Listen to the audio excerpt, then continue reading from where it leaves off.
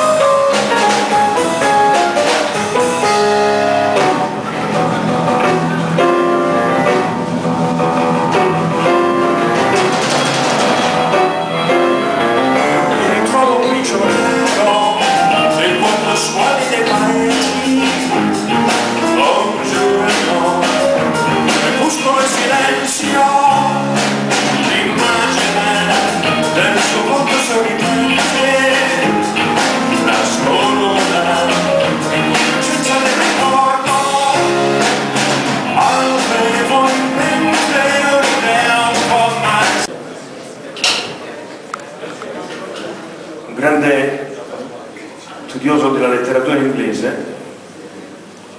si chiama Mario Prats e il pezzo si chiama infatti